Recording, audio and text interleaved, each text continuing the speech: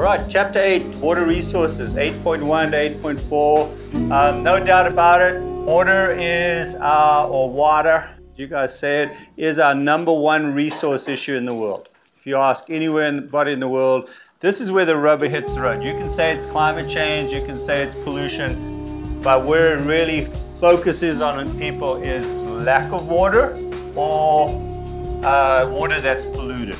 Because even to our health, most of our diseases are waterborne. Even though most of our diseases, cholera, diphtheria, things like that, uh, just diarrhea itself um, that kills lots of children in uh, third world countries.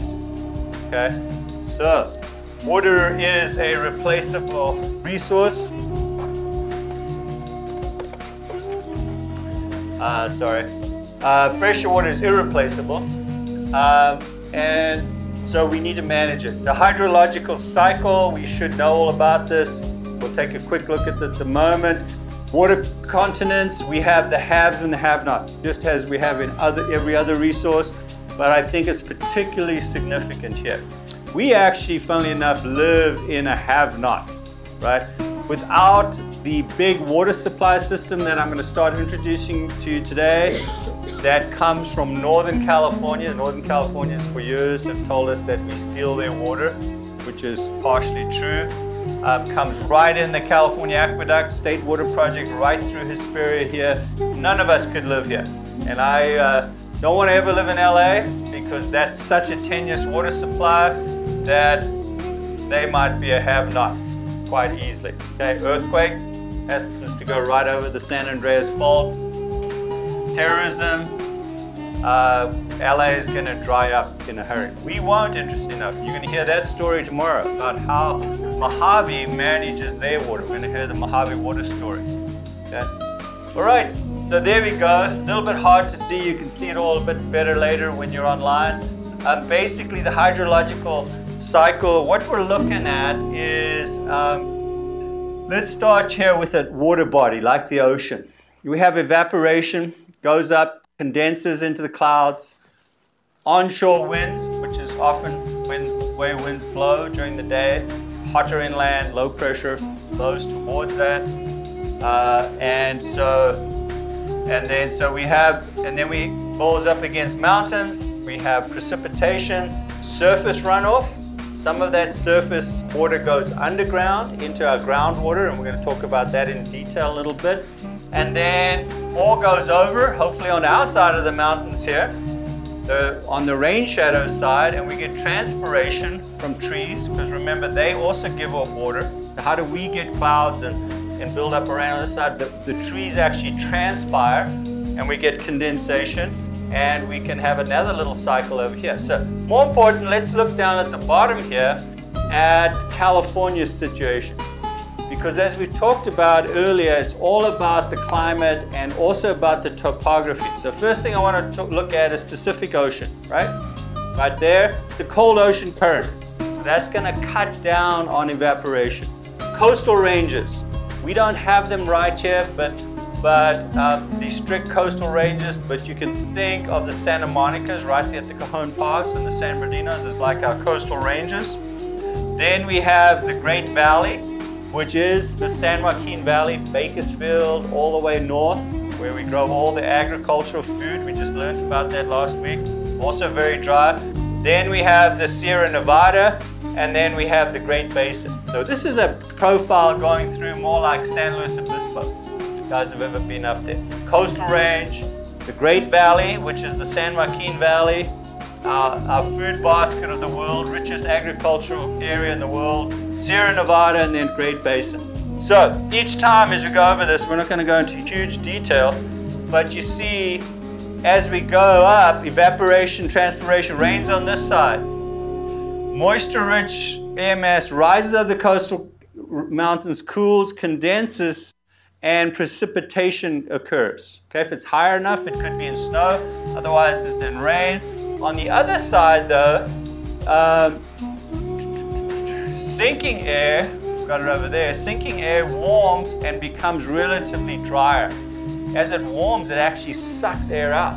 So if you're trying to grow tomatoes and vegetables here in the Mojave Desert, you know, in those spring days when we get those winds coming this way, come, you water your, your tomatoes in the morning, you come home at night, and they're just completely given up. They're all wilted and stuff. That's partly because it's hot, but also because literally those winds are drying it out, causing them to transpire. This side is called a rain shadow, where the air is dropping and warming. A rain shadow, we don't get as much rain, okay? We're in that side. So on this side of the mountains, let's just look at Rancho Cucamonga. Down below LA, about 15 inches of rain. Outside, eight inches average. Okay. As we go further across, if we go across here and we head out to, let's say, uh, Needles, time we get to Needles and we've gone over a few mountain ranges, what is it? Two inches, three inches. Okay. So as we get away from the ocean, it gets drier and drier. Only saving thing is we also have the Gulf of Mexico and the Sea of Cortez, and rain comes up from them. Monsoon rains in the summer. We had a bit of those here. They come up, and that's a different cycle. Okay? So, real quick, that's how we get the water in the first place. All right, so aquifers. This is the name of the game locally. We'll see in a moment that all our water that you use on a daily basis comes from underground, comes from the aquifer. Okay? And you guys got to see on the field trip and over in our department, you'll see it again tomorrow. We have a, a model of what that aquifer looks like, right? Sand, gravel, clay, mixture of stuff that the water sits between. In a few places, you have underground caverns and spaces between rocks, but locally, it's these sediments, right, that the water sits in. The top of where it's saturated, if you looked at that model, where the water was saturated is called the water table, right? That's really critical, and that's what we were measuring. That's what we're going to measure. Um, we measured on the field trip, and that's what you're going to look at again more tomorrow. Is we measure the top of the water table. If we're going to sink a well, you know, let's say this is Hesperia, Hesperia Water District, their well we got to get below that water table because sink the well down, it's a plastic pipe as you saw, and it's got perforations on, could be metal pipe, perforations on it. It's not going to pick up any water if it's sitting up here. I didn't get to tell you that, guys, that, but one of my sad stories out there is I actually drilled a well that landed probably right there, just because I was being somewhat stupid. Okay? I wasn't looking at the data properly. Okay, so that's how it infiltrates. How does it get in there? Well, it infiltrates. Here in the Mojave River, we're gonna see on our last field trip, it infiltrates really well because it's real sandy, comes in, and they've actually been letting water out of, of the State Water Project, out of Silverwood the last little bit. If any of you have gone up Deep Creek, you'll see they've been letting water out. A friend of mine at church yesterday was showing how he tried to cross the river in his Jeep and didn't realize there was a deep hole and, and there's a lovely picture of the water over the top of his Jeep. Um, so that's what happens. You don't expect that in the Mojave River, but they've been recharging this. Putting water up here, or this would be a good example, putting water in there so that it can recharge the aquifer, bring it back up. Because obviously as we suck out of these straws, all these wells, we deplete it. Okay. All right, water tables rise and fall, obviously. Unconfined aquifers, that's when there's nothing to block it, okay?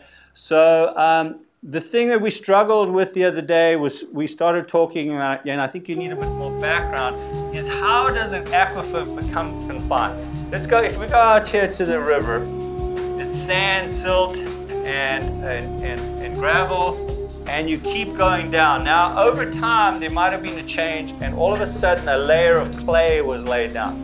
Very fine particles, okay? That will confine the aquifer above and below. Well, it actually will confine the one below. Because clay, when you wet it, if you've ever done it, that's why we, everybody has a ceramic jug here or coffee cup, but it binds together when you wet it and it binds together so it forms an impermeable layer. Remember us talking out there in Lucerne Valley about that fault line how the fault line, the, Lucerne Valley, Helendale Fault moves like this, formed that flower. Well, that's clay-like material, very fine. Water comes up again, it becomes a barrier. We talked about how the water on the top side where we were taking that water sample on the side of the road, how that was higher than down into Lucerne Valley. That's a confined aquifer, okay? They're non-renewable because they can't be recharged. This one is renewable, the unconfined, and that's what we work with here in the Mojave, is unconfined aquifers, because basically if you think of it, the relationship you make is we don't have big lakes to store water in. Silverwood Lake isn't for us, it's for LA and down below.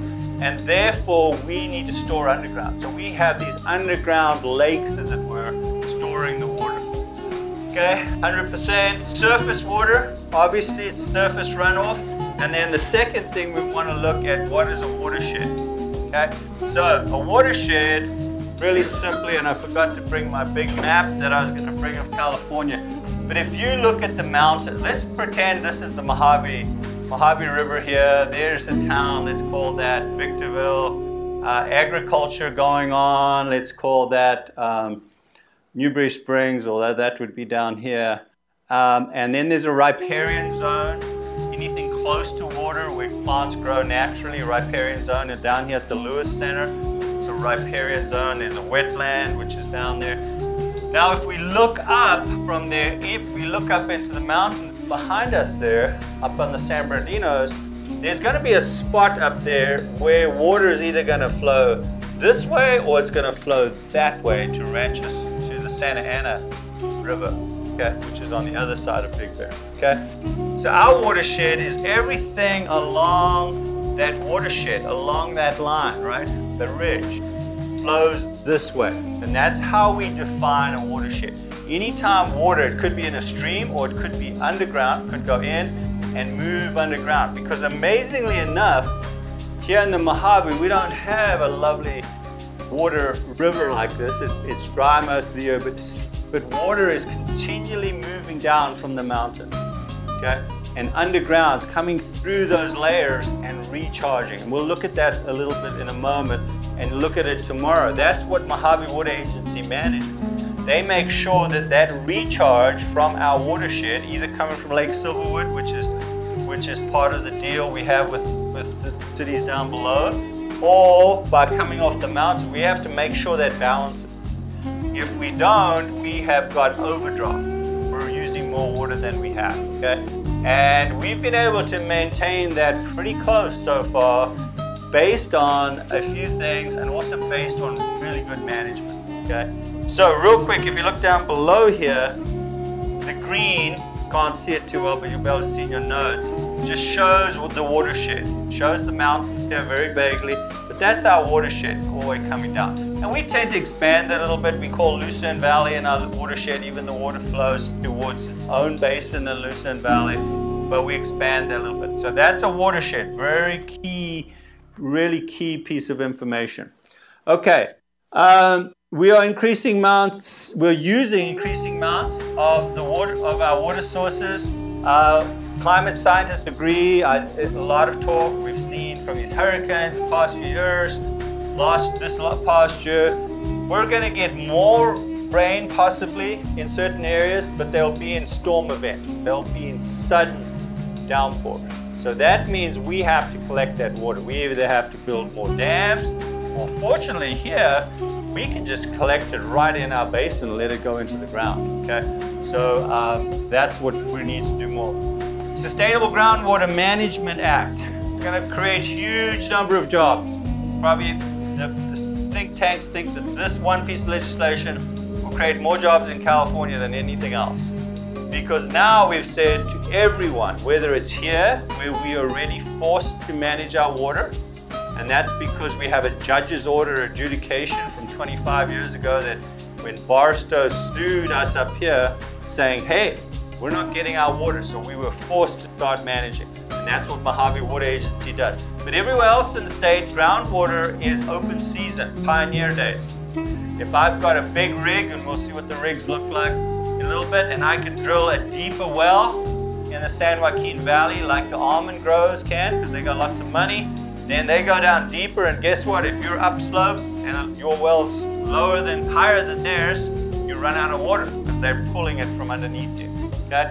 So this law came in place two years ago, and they're going to form have to have agencies and plans to manage the water sustainably in all of California's groundwater. Okay?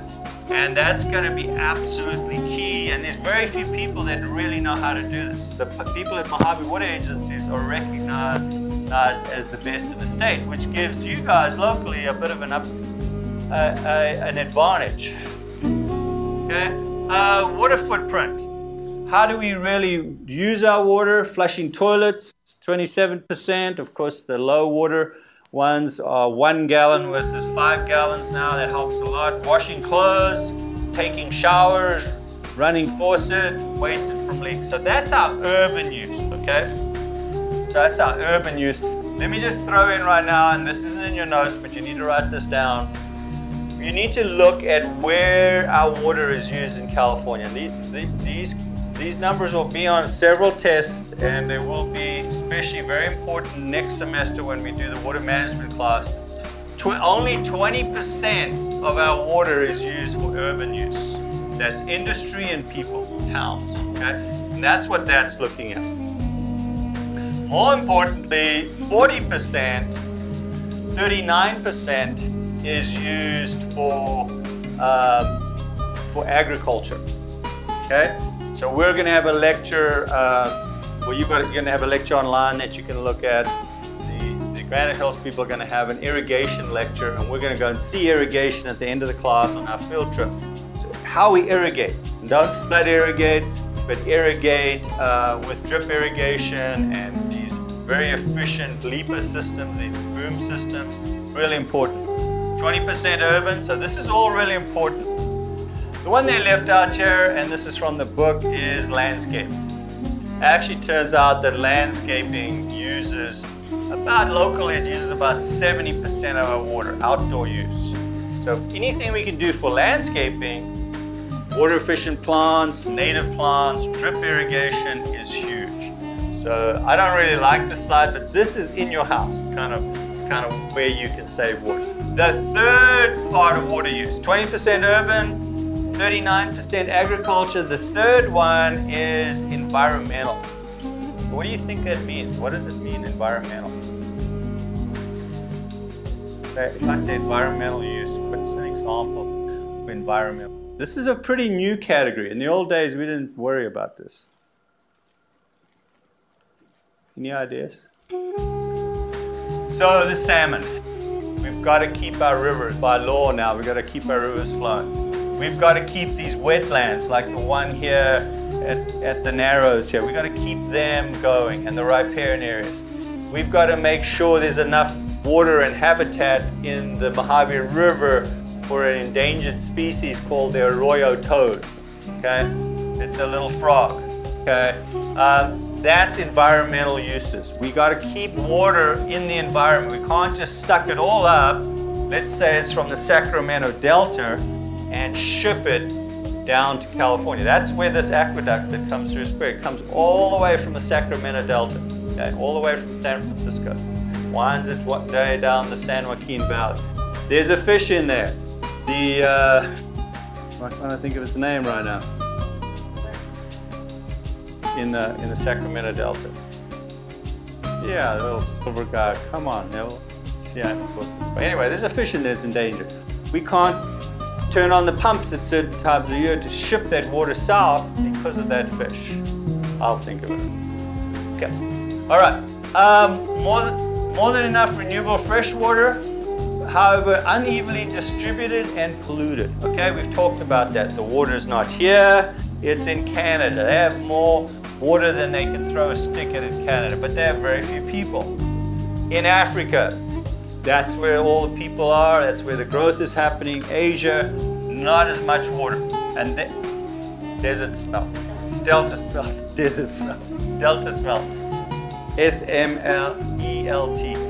Floods, pollution, droughts, they're all affecting our renewable fresh water source that we live on. Okay? Water spots. Where is it that hotspots? Where do we have issues in, in, in the United States? Okay? We have issues in California, our little area here. We have all the way through the San Joaquin Valley is red, the Central Valley, the big valley they talked about. Up there in the Sacramento Delta, they have water issues. All the way in various issues, places where they have lots of people, right? Look at it, how much is on the west. Most of it's on the west because we're, we're much drier on the west coast, on the west side of the United States. Okay, so uh, there's water issues everywhere. And there's a high, high likely of a conflict potential. Okay, so you're like, what are you talking about? Are there wars locally happening?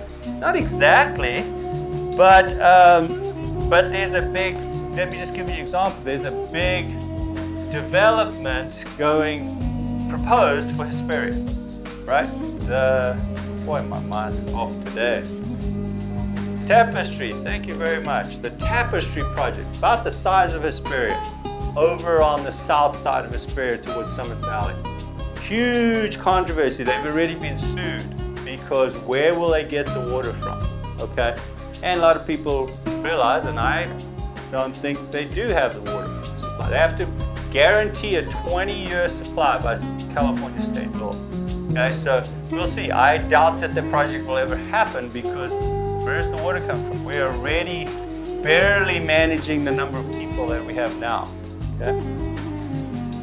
All right, drought monitor. Obviously, we, this was in 2015, got a lot worse in 20, 2016, and then all of a sudden broke. The northern part of the state up broke in, uh, in 2017. Southern part of the state, we just barely got an average rainfall. So we're still technically in this drought. Okay, freshwater shortages will grow because of dry climates, because of drought, too many people, wasteful water use, potential co conflicts, wars over water. So if you're in the Middle East, you often think of those wars as being about oil, but and and and issues between different ethnic groups, but often they're also around water because um, and there's a case study that we're not going to go into that's in the book that you guys can look at. I've got some slides on that, but we're not going to discuss that about the Middle East. Okay? Expanding our watersheds. So how did we do this? We have our little watershed here. How did we expand it? LA has its little watershed. Problem with both of our watersheds, we don't get a lot of rain to shed into our supply, right? So we had them put in artificial man-made systems. They're dams, they're aqueducts, they're pumps. And so we make a virtual watershed. We were just fortunate enough to be able to do that in Northern California. And we take advantage of that in here down here in Central and Southern California. Okay? Uh, so 75% people in demand for water is south of Sacramento. 75% of the supply comes from north of Sacramento and it's distributed in an intricate system of canals and dams and pumping. We use, for example, 17% of our energy is used to pump water, our electricity just to pump water, okay? Uh, map 12, I think I've got that. Um, so just a quick clarification for the text, you'll see this often. Remember I said 39% or excuse me, 41 I got those numbers right. Change that. 41% for agriculture, 39% for environmental.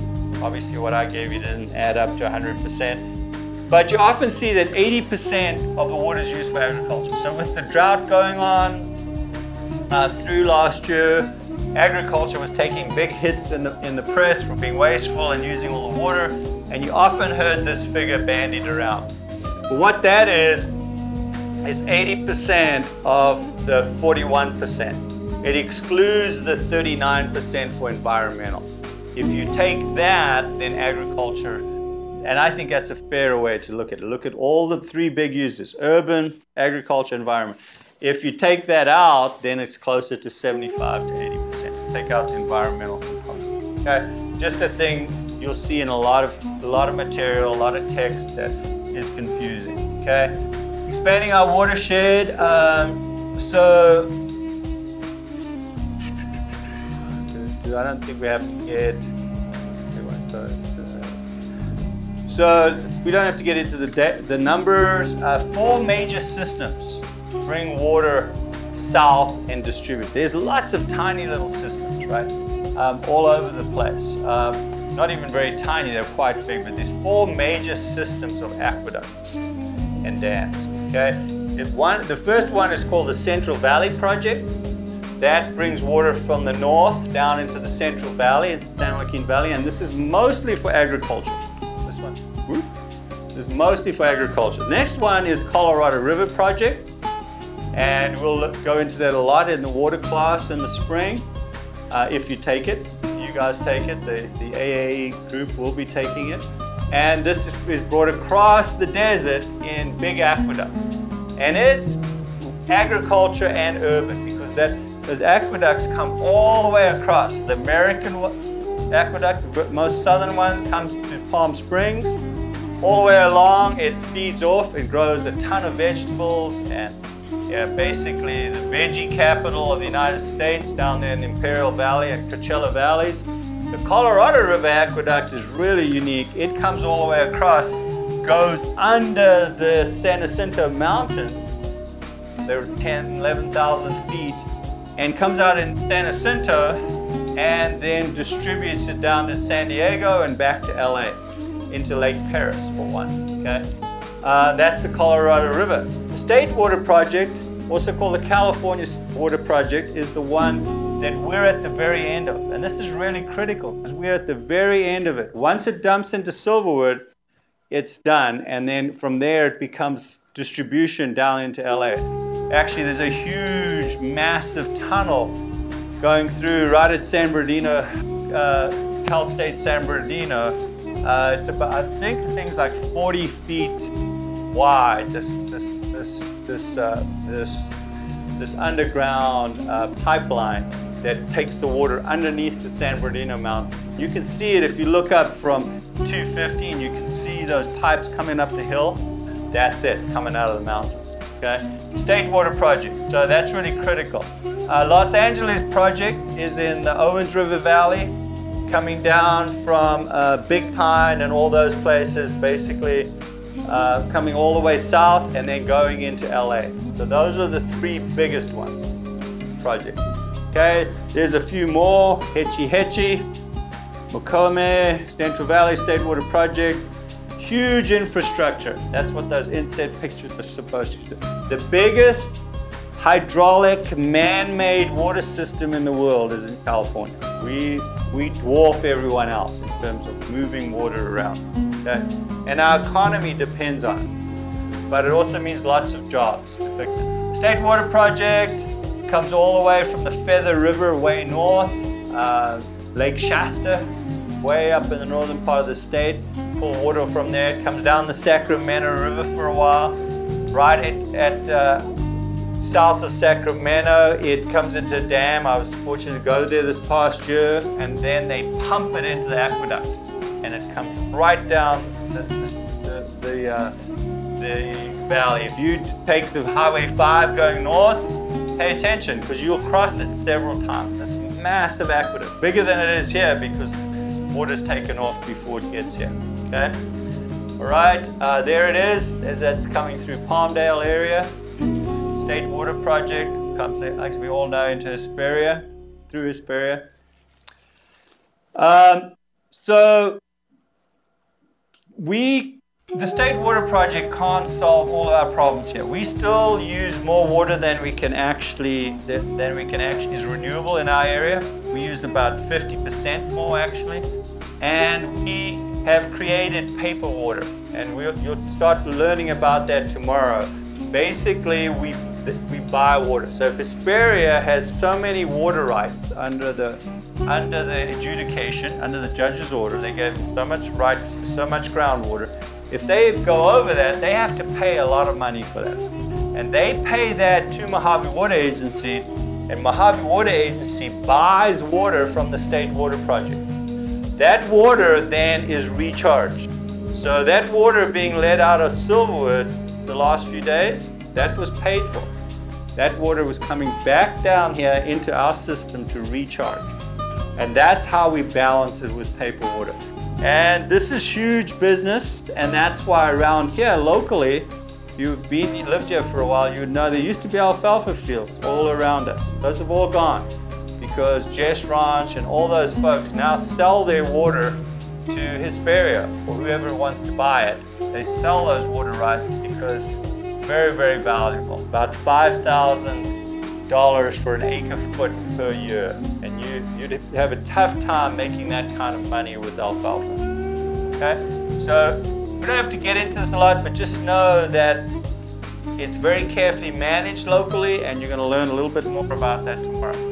Okay.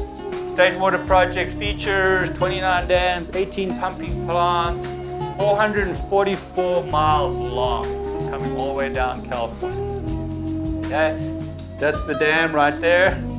Oroville Dam, if you're watching the news this last year, you know that's the dam that almost burst, right?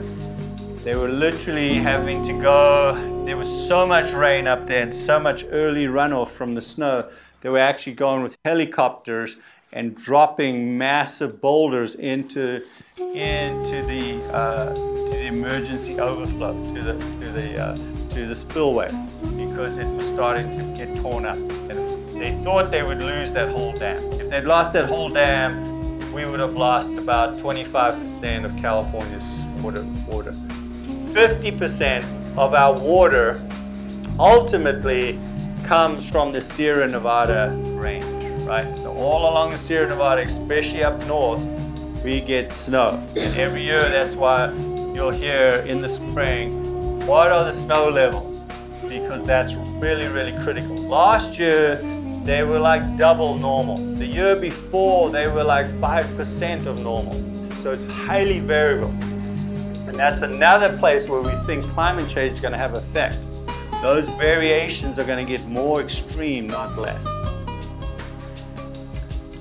Okay, Edmundston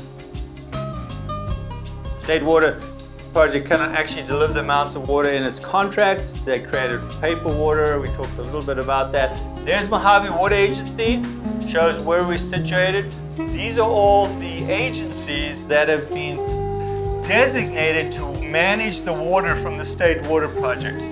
Okay? Um, all the way down here to Antelopes up in there, Antelope Valley. All of those managed. We happen to have Water Agency. Matt Howard, one of our co-teachers, was going to talk to you about what they do and kind of their basic story to manage our water, which means they manage the state water, but more importantly, they manage the groundwater because that's ultimately where it comes from, even if we recharge it, right?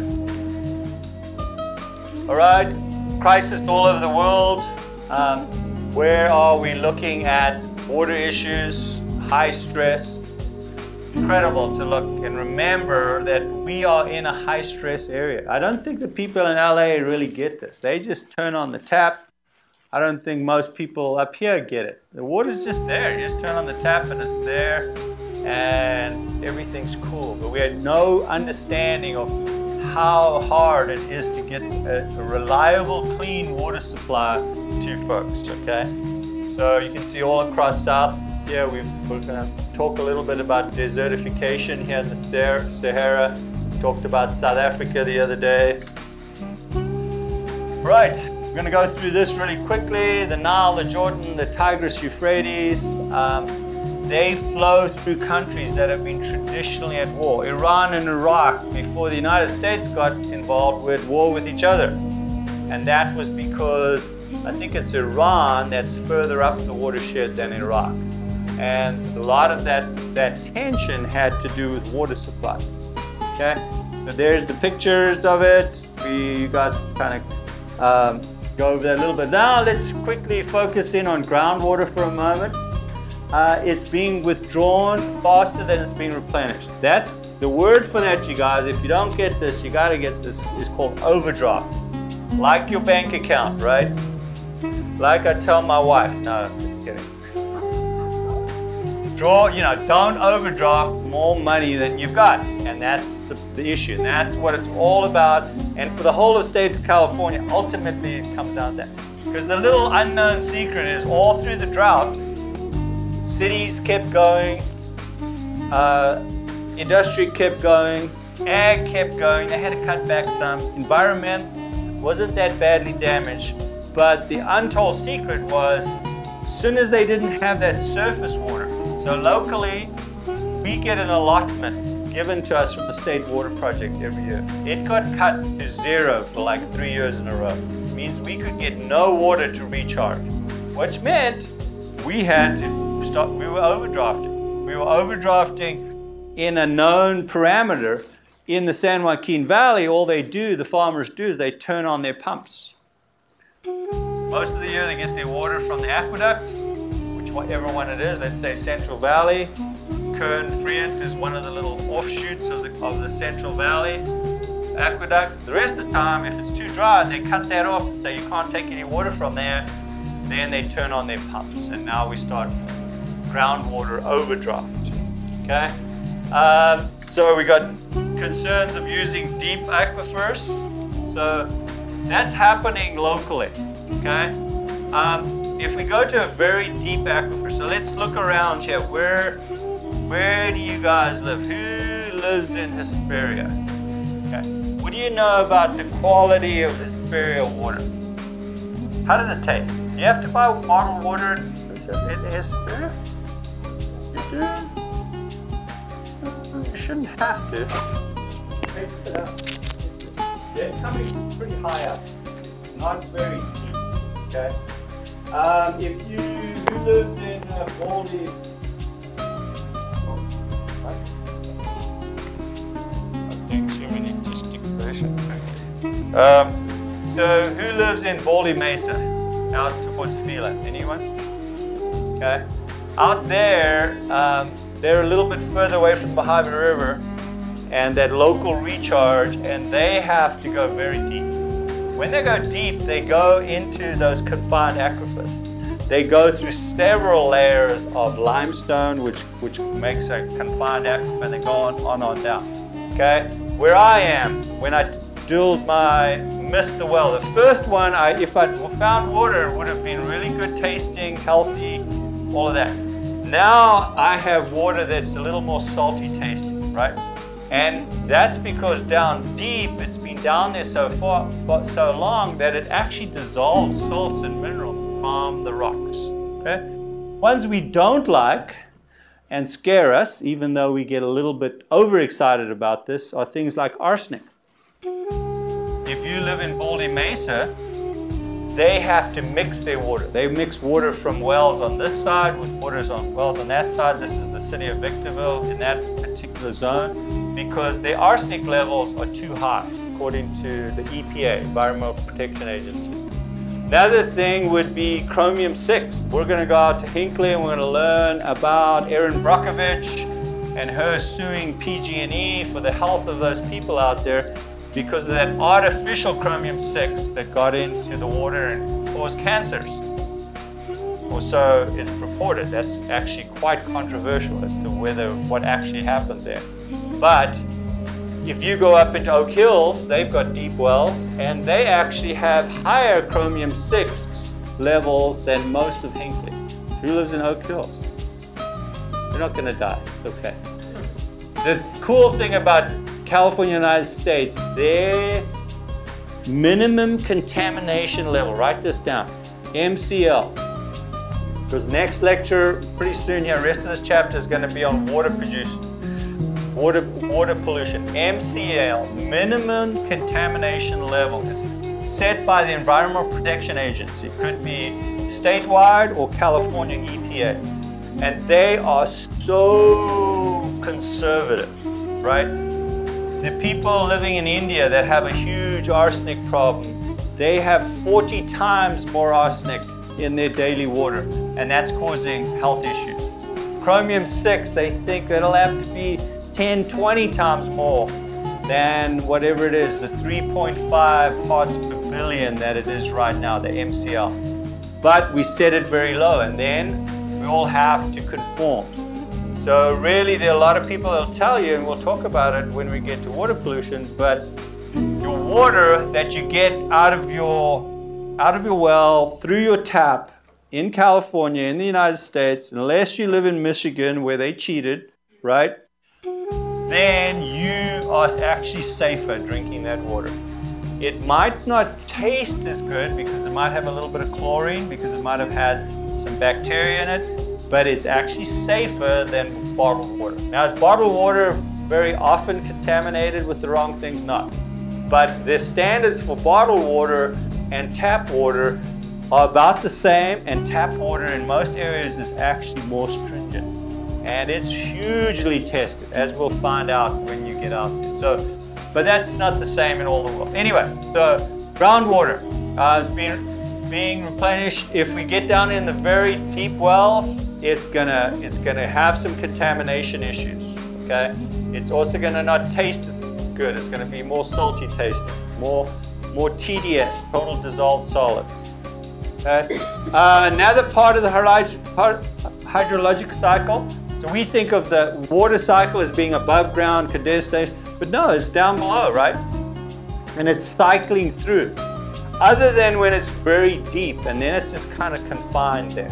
And so we're, when it's then, then we have to drill very deep with our wells to start using. So in the spring, when we do, if you take the water class, which I'd highly recommend, because of all the jobs. We'll go to a place near Needles called Cadiz, C-A-D-I-Z. Very controversial water project where they're actually mining some deep aquifers that are very good water and they're ultimately trying to send it to water districts in LA. They're going to use the California, the Colorado aqueduct to get it there. They're actually going to hook up to the Colorado aqueduct to get the water out that way. But it's highly controversial. Up till now, they've been held up because it's like, who does that water belong to? Does it belong to a private company or does it belong to the people, specifically the people of the Mojave Desert? And so there's a huge push and shove, a big water war going on about that.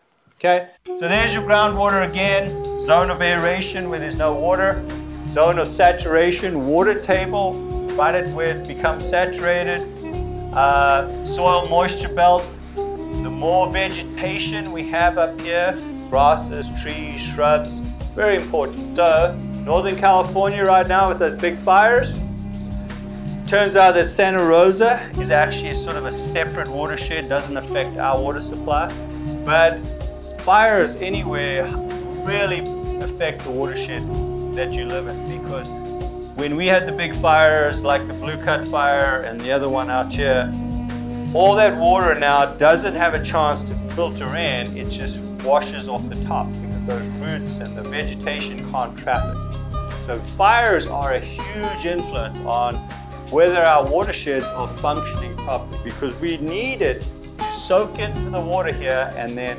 slowly infiltrate down to the water table. Okay?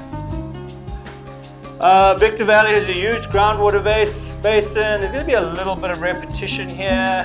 Um, there's another picture of a more intricate uh, uh, groundwater water table look. We've got a treatment plant there. We've got, more, we've got a river. We've got irrigated agriculture. Big story in much of the United uh, of California is excess water, like when they flood irrigate will go off the land and infiltrate back the groundwater. And, if, and with it, we're going to take chemicals, pesticides, and excess fertilizer, and we're actually going to contaminate the water. So agriculture, again, why do we irrigate with drip?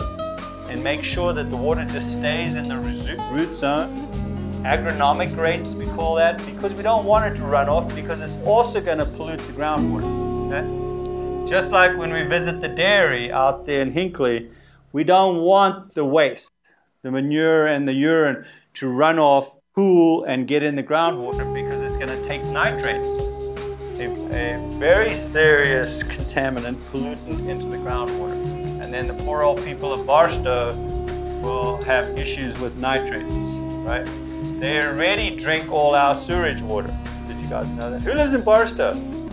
Oh, you seem like such nice people. So, well, part of the Mojave River adjudication, when they sued us up here, we said, sure, okay, we'll do that. But you know what? One of the ways we're going to recharge for you is we're going to take our sewage water, we're going to take it in pipelines down to Victor Valley Wastewater Reclamation Plant, VVWRA. We're going to treat it there to drinking water standards, tertiary. Very kind of unusual. LA is too lazy to do that. They pump theirs five miles out in the ocean, partially untreated. We treat to drinking water standards, even though we've visited there hundreds of times, Lynn and I, never had anybody actually walk from the treatment pond over here 100 yards away and actually drink the water. Um, we had one crazy guy offer to do it once, but it's actually drinking water standard. It goes back into the river and into the groundwater and makes its way down to Barstow. And that's about 35% of the water we recharge back to Barstow through the adjudication, the Mojave River adjudication is actually treated sewage water. That's why we kind of joke about it. So actually, if you look at us, because the hydrological cycle, you know, often joke that the water, who's got water here? That water right there, you know, could be recycled from Napoleon's urine. Have you thought about that? It's the same water molecule. From our septic tanks. Oh, we will get to. I'm just going to say septic tanks are really a big issue because that water is bad, not very well treated. And it goes, and if it, if it has contact, if you're close to the river, it's going to leach in and it's going to take lots of nitrates stuff into the water and it's going to go to Barstow or go further downriver. And it's a big issue. And, and the dairies, we as the resource conservation think that the dairies are being blamed for nitrates that are actually coming from septic tanks. But they, they can't, the Lahontan Water Board can't go after, I should probably edit this, but they can't go after individual people, so they go after bigger entities. Okay? Victor Valley Wastewater Treatment Plant only had to treat for nitrates starting about four years ago. After that, all used to go into the water. Okay, so uh, anyway, yeah, good, great question. But Matt will be doing a water pollution uh, thing, uh, uh presentation uh, early next week, and we'll go over it then, well, Monday next week. There's an old-time well digger. There's uh, just flood irrigation. Who cares? The water came 400 miles. Who cares? Let's just dump it out on the ground and let it just flow to where it needs. It can evaporate, leave salts behind. It can waterlog the soil. Uh, it'll we'll waste 50% of it. Here's the actual subsidence. If you overcharge, overdraft, think about it. Instead of those spaces between the soil and the sand being filled with water, they're filled with air, and that can compact. And it's one of the problems with groundwater overdraft is subsidence, and that's what this person's standing on there. That's in the San Joaquin Valley. They've had subsidence in certain areas up to above 20 feet. Problem then is once it's compacted, now when you recharge, you don't have as much space to fill back up with water. So it's not as good, doesn't have the same capacity anymore. Okay, there's where I come from um, in Africa.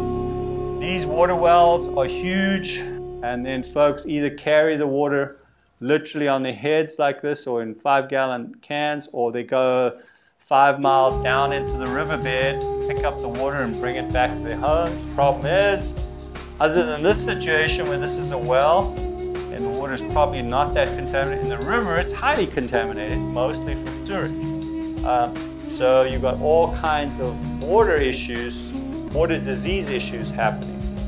Water myths, real quick, groundwater myths. We got what, another five, seven minutes?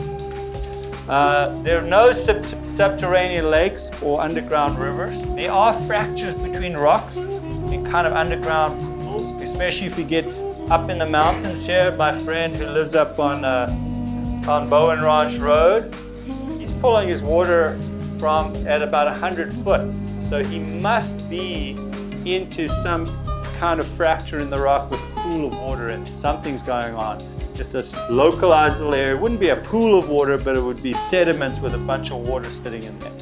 Uh, it's not locked away. It's a renewable resource. It's not unlimited, but it can be overdrafted, and that can cause subsidence. Percolation through the soil does not clean out everything. A lot of people, going back to Sam's uh, septic tank idea, I was even taught and kind of didn't, I knew better, but anyway, that, that after it comes out of the septic tank, the anaerobic doesn't treat it very well, goes into the leach lines, and then goes into the ground, the soil will take out all the bad stuff. Well, to a certain extent, it does a decent thing, but it doesn't take out pesticides. It doesn't take out synthetic fertilizers. It doesn't take out all the pharmaceuticals that we're taking. Okay? It doesn't take out all the bleaches and the solvents that we're using, right? You clean your motorcycle and you want to make it look nice and peachy clean, so you spray it with that degreaser, right? Where does that go? It goes right on the ground. It Doesn't take that out, okay? That's getting accumulated in our supply. When we were at Mitsubishi last week, same sort of thing. Mercury, certain stuff with a long half-life that never is biologically degraded starts accumulating. And then it starts accumulating in us because we're top of the food chain. So we start bio-magnifying the stuff, okay? And that's happening. And that's why certain things, especially frogs and amphibians that are very sensitive because they have a layer of moisture on them and they get all this input, are starting to have some real issues. Mostly we think because of these water pollution from pharmaceuticals. So when you, when you see those frogs with two heads, they're probably not eating GMOs. They probably have water contamination. And all of this kind of gets mixed up. Like, what, what caused it? But, and a lot of the disease issues that I think we're seeing these days growing, and I'm not, I'm not uh, disputing that there might be some increases in some certain kinds of diseases and disorders, but my personal opinion and others is it's a lot of this in our water. We're kind of doing it to ourselves. It's not necessarily GMOs or something like that directly, but actually just playing in our water, especially in Livet Bars. Okay, so monitoring local water levels, we already did this. You guys saw this. This is us this week. I'd managed to import one measly little photo. That was us in Lucerne Valley. Um, there's the, the measurement. There's the little thing that beeped, the, the, the, the, the monitoring tape that tells you how deep the well well. Very critical. That's all put on a GIS. And then geographic information system, then we start making decisions. Where should we recharge? Where do we need to start cutting back? Because the Mojave Water Agency also has some muscle. And the way the muscle works is the judge looks at the data every year, goes to a judge in San Bernardino County, looks at the data and says, you know what, Newberry Springs, you guys are still overdrafting. So we're going to cut another 2.5% of your water rights. So Newberry Springs right now, if you started off with 100 acre feet water right, you're down to 50, approximately 50. They've had a 50% ramp down. You'll hear this word a lot, ramp down. And that's because we're just saying as a community, as, as the judge on behalf of the community says, you guys have got to cut back, okay? That's why all these conservation measures, and there's a, there's a conservation lecture in there for you guys by Nick Schneider that you guys should look at. It's a video if you're interested. It's on. It's going to be on your on your blackboard. Okay. There's the watershed. Right. Right. Is that the watershed? Could be the watershed. Yeah, but it's a watershed. Come on. Everybody knows what a watershed is. Here's the, here's the uh, water levels. We've looked at this already. You'll be talking about this more uh, tomorrow. Monitor this. this. These are called hydroclines um, or hydrographs. We're measuring where the water is underground, right? Very, very critical to look at this over time. There's all the monitoring wells in the Victor Valley area. 6,000 of them across the whole, this is across the whole thing with that they're looking at. They monitor them very seriously, all of them, twice a year. Uh, key ones are done monthly. And some of them, as we saw, have actual telemetry where they're actually sending data continuously. Withdrawing groundwater, advantages. Okay, real quick, useful for drinking and irrigation, yeah. If we want to, if we want to live, right? There's poor people in Africa and irrigation. Exists almost everywhere. Renewable if not over pump or contaminated. Cheaper to extract than most surface water. How about that? It's easier to pump it out of the ground than to pump it from, from a lake. Okay? Disadvantages, aquifer depletion, sinking of land, some deeper wells are non-renewable and also might be contaminated, right? Pollution of aquifers last decades or centuries. Talk to Hinkley PG&E about that, right? They've spent hundreds of million dollars. That's the most expensive water pollution issue in the world, they tell me, right? They have still to this day, they have 60 60 people working directly on that project, highly paid, 200 people working indirectly. Yet, once you've polluted it, it's a big deal to clean it up. Okay, groundwater depletion. How do we use more water efficiently? We've done a great job locally on conservation. Landscape, cash for grass, buying back people's grass and paying them for it. Uh, educating people. Uh, subsidizing water conservation. Okay, so they'll give you, there, in, there was a giveaway this weekend in Apple Valley Rancho's Liberty Water District where you could get toilets if you lived in, in their jurisdiction. Okay? Limit number of the wells. They really start to think about this. Okay? And this is a big deal locally, big concern. Okay? Stop growing water intensive crops in dry areas. When we go out, we'll visit harder farms where they're growing pistachios instead of alfalfa because pistachios have a higher economic yield uh, potentially, but actually take less water, half as much water. Okay? Control. Raise prices. Okay, we've got these tiered price systems, right? So just because you use more, more water, you're going to pay more. But no, you, once you get over a certain level, you pay more, more per gallon. And those go up very rapidly. So people that have a pool. I mean, who of you guys have heard late, lately people locally with a three, four hundred dollar per month water bill? Not that uncommon. In San Diego, five hundred is not very common, uncommon. You, you've got to watch. They, they hit you in the pocketbook. Build rain garden. Use permeable paving material. Okay, so the place so the water can go through it.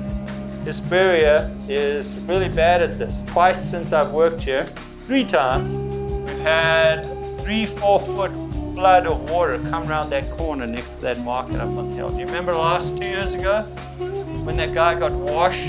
Can you believe that? I still don't even believe that this guy lived. You know what happened? And we'll end here. The guy got, he was on the other side, he got out of his car apparently, he got washed in the floodwater uh, channel underneath Bear Valley Road and he came out somewhere over here in the, in the Victor Valley Lake and he lived. Right? I read in the paper. I don't believe it, but I read it in the paper. And I. Huh? Crazy. All right. So, large dams and reservoirs, you can read about this. I'm just going to quickly show you that we, they're very important. There's lots, there's this State Water Project. There they are. We've got some of the biggest in the world. And then finally, we're going to talk about irrigation. There will be a, uh, a video for you guys to watch on irrigation by, by Tony Walters, one of our ex-students. And water use and waste, pay attention to this. It's really important what you can do. Remember, Main part of sustainability is what responsibility can you take? And then flooding. Uh, I just wanted to show you that we have our own floodwater control dams. There's that uh, clearing of forests or, or, uh, or, or, or fire, denuding our watersheds. So right here, Roy Cho, where is it? Deep Creek, right here. Right there is our flood control dam. And that turkey that I was talking about from our church, he buried his Jeep right there. Okay, but people come up here and hang out and have a great time. This is a flood control dam. Prevents massive flooding for Deep Creek to take us out. When I first got here, I'm to say, not when I first got here, but 18 years ago or so, I don't know if you guys, well, you guys aren't even that old, but houses were being taken out right beyond the college here at Spring Valley Lake, just dropping off into the Mojave River from, from the floods. Okay? All right, so that's it, and we'll see you tomorrow. Thank you.